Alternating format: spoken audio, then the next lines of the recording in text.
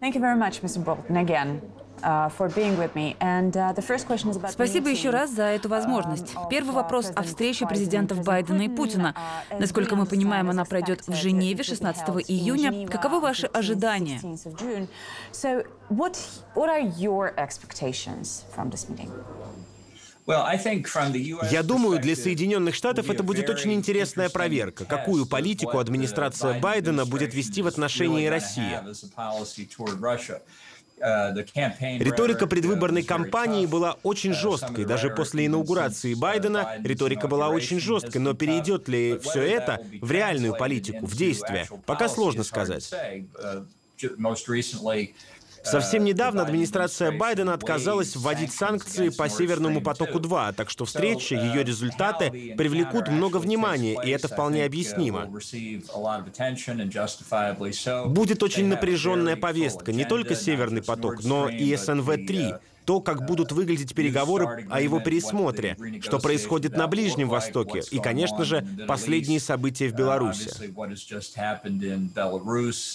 Я задам отдельный вопрос про это. Да, целый ряд тем. Um, uh.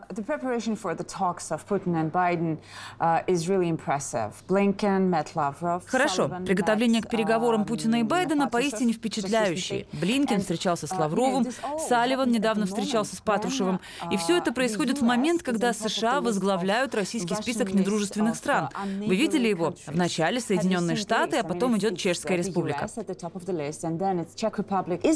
Разве не парадоксально, что между официальными лицами uh, России и США ведутся такие uh, интенсивные переговоры, а отношения между двумя странами, как говорят эксперты, близки к холодной войне? And Russia. And still, the relations are, are just like the Cold War, as lots of experts say. Я думаю, администрация Байдена показала, что она в огромной степени фокусируется на процессе, в вопросах, касающихся внешней политики. Они пока ничего особенного не сделали, но по части выстраивания процесса они очень активны. Послушайте, любые приготовления к саммиту выглядят широкомасштабными по сравнению с приготовлениями, которыми мы могли заниматься при администрации Трампа. А отношения сейчас очень прохладные. Например, против меня Россия ввела санкции три месяца спустя после ухода Трампа. Возможно, потому что против Патрушева также введены санкции. Но реальный вопрос вот в чем. Что будет делать Байден помимо участия во встречах? Другими словами, если твое видение политики по большей части состоит из личных встреч, то выходит, в этом смысле администрация Байдена точно такая же, как и администрация Трампа, и ни один из них не представил какой-то последовательной доктрины. И, конечно, США или их союзники где-либо в Европе так с агрессивной политикой путинской России не справятся. Какой будет главная цель Джозефа Байдена в Женеве? Я боюсь, это может быть примером так называемой показной добродетели. Он поедет туда, и в конце у них будет совместная пресс-конференция, и Байден не скажет, что позиция России ему милее данных американских спецслужб. И это будет большой прогресс, как покажется его команде. Trump Напомню нашим uh, зрителям, что именно так сделал Трамп в 2019, Хельсинки в just reminding our 2018. viewers. И это говорит о том, что, вероятно, это саммит, посвященный процессу, а не реальным результатам. Okay, Окей, но каким может быть результат, хороший результат для Соединенных Штатов или, возможно, uh, также и для России? Каких итогов вы бы ожидали? Мне на ум приходят в первую очередь два момента, о которых администрация Байдена и Путин могли бы договориться. Это, впрочем, не значит, что я считаю эти решения правильными, и тем не менее. Первый — США могли бы вернуться к ядерному соглашению по Ирану 2015 года, из которого администрация Трампа вышла. Я думаю, что это соглашение очень плохое, но Россия хочет вернуться к нему. Байден хочет вернуться к нему, поэтому, думаю, оно может быть предметом обсуждения. Второй — как пересмотреть СНВ-3. В 2010 году я выступал против СНВ-3. Я считал этот договор неадекватным во многих отношениях. По прошествии более 10 лет он кажется еще более неадекватным технологически. Набор видов ядерного оружия, о которых в нем идет речь, всегда был недостаточным. Поэтому сторонам необходимо поговорить о будущем этого соглашения, которое было продлено на 5 лет, но остается все еще неадекватным эффективным в этот период времени. Я думаю, это будет очень интересный маркер того, что получится ли что-то конкретное из встреч двух лидеров, или они просто скажут, мы очень ждем продолжения переговоров.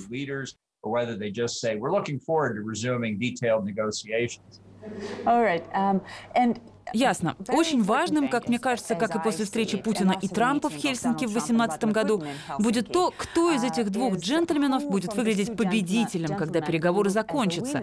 Вы считаете, это будет Джозеф Байден или Владимир Путин? Зная Путина уже 20 лет, я могу сказать вам, что он всегда самый подготовленный лидер в комнате. Он точно знает, в чем интерес России, он точно знает, чего он хочет добиться. Сложно предсказать, сможет ли он проделать все это с Байденом, но это будет, кажется, только третий саммит со времени президентства Байдена. Uh, uh, Встреча с Сугой из Японии и Мун из Южной Кореи были крайне небогаты на события. Но здесь многое стоит на кону. Поэтому, думаю, для Байдена будет очень важно показать, что он полностью контролирует свои возможности и не зависит от помощников, советников, записок и прочего. И он должен быть готов к тому, чтобы справиться с манерой ведения переговоров Путина, которая всегда очень агрессивна. Вы считаете, Владимир Путин как политик сильнее? Я думаю, нет сомнений в том, что Путин полностью контролирует свои возможности. В США много обсуждают, насколько Байден способен справляться со своей работой. Я не пытаюсь сейчас выносить какие-то суждения, я просто говорю, что с этой точки зрения эта встреча с очень высокими ставками. Я поняла. В начале нашего разговора вы упомянули Беларусь. Вы считаете, позиция США дипломатически верна в этой ситуации? На мой взгляд, то, что, судя по всему, случилось, выглядит как похищение, вмешательство в международное воздушное сообщение и акт терроризма. Если сообщения об этом верны. Есть сообщение, что на борту были сотрудники российских спецслужб, которые сотрудничали с белорусами. И это нужно так или иначе выяснять. Но мне кажется, Западу нужно выработать некую стратегию в целом, не только по поводу этого инцидента, который неприемлем, но и по поводу того, что это значит для будущего Беларуси, и создаст ли это предлог, чтобы Путин смог сделать то, что он хотел сделать уже некоторое время, поглотить Беларусь в том или ином смысле, чтобы Россия устранила Беларусь как независимую страну. Продемократические силы в Беларуси говорят, что они не беспокоятся о склонении в сторону Запада или склонении в сторону России. Я скажу вам, что у них просто нет выбора в этой ситуации. Если Лукашенко поймет, что он идет ко дну, он постарается получить поддержку России. Запад сейчас занимается больше показной добродетелью. Они говорят, мы не будем направлять самолеты в белорусское воздушное пространство. Хорошо, но что это будет означать для каждого белоруса, для ситуации, когда их будут склонять в сторону русского мира?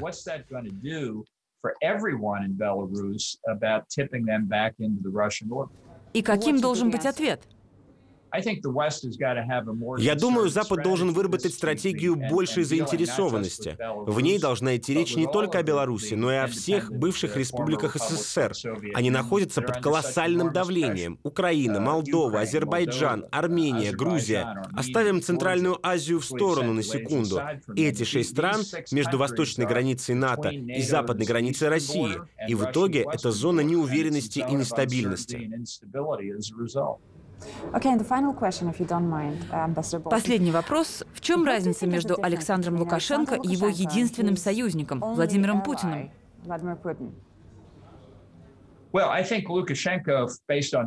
Судя по моей единственной встрече с Лукашенко в 2019 году, он бы хотел сохранить независимость Беларуси, но под своим контролем.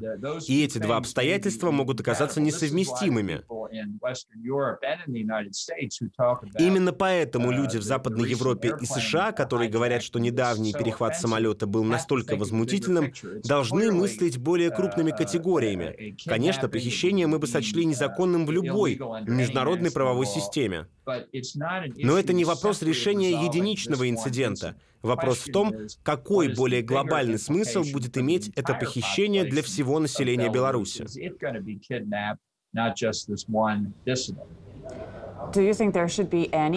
Вы считаете, должны быть проведены переговоры с Лукашенко? Возможно ли какое-либо сотрудничество с ним с европейской или американской стороны? Или его нужно изолировать, как лидера Северной Кореи Ким Чен Ына? For example, leader of uh, North Korea. Я думаю, это было бы только привлечением опасности, потому что он не изолирован от Владимира Путина. Если вы проснетесь завтра и узнаете, что Минск и Москва подписали договор о создании Союза, что мы будем делать? У них уже есть союз, вы имеете в виду глубокую интеграцию.